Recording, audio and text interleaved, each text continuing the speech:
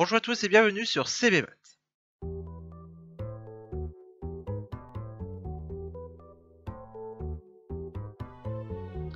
Dans cette vidéo, nous allons aborder la partie C de l'exercice numéro 4, bac S pour digérer 2017.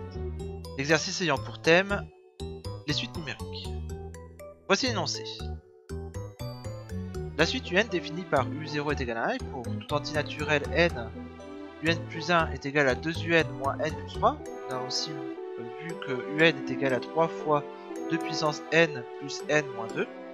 Et la suite Vn, définie pour tout entier naturel n, par Vn est égal à 2 puissance n. Donc on va étudier maintenant la, suite un sur Vn.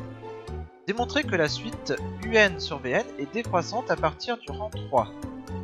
On admet que pour tout entier naturel n supérieur ou égal à 4, on a 0 inférieur à n sur 2 puissance n inférieur ou égal à 1 sur n. Déterminer la limite de la suite un sur vn. Vous pouvez mettre en pause la vidéo pour résoudre le problème. Alors, on va donc on sait que un est égal à 3 fois 2 puissance n plus n moins 2. Et un et vn c'était 2 puissance n. On a un sur vn est égal à 3 fois 2 puissance n plus n moins 2 sur 2 puissance n. Ou encore 3 fois 2 puissance n sur 2 puissance n plus n moins 2 sur 2 puissance n. On peut simplifier ici par 2 puissance n. 3 plus n moins 2 sur 2 puissance n.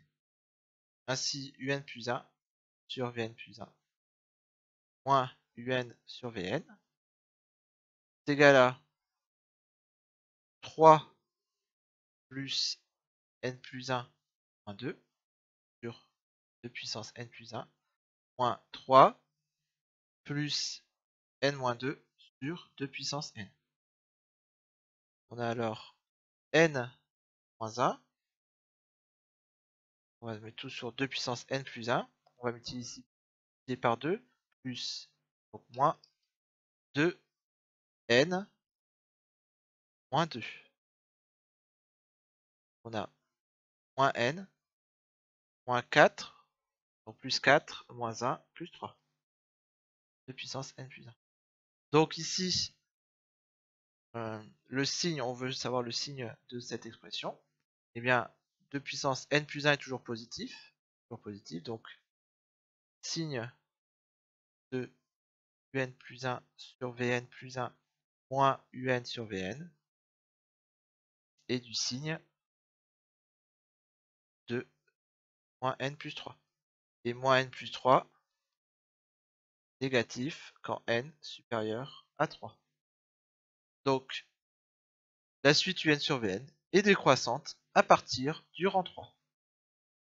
Donc ici, on veut déterminer la limite quand n tend vers plus l'infini de un sur Vn. quand n tend vers plus infini, de 3, 3 plus n moins 2 sur n puissance 1. 3 plus n moins 2 sur 2 puissance n.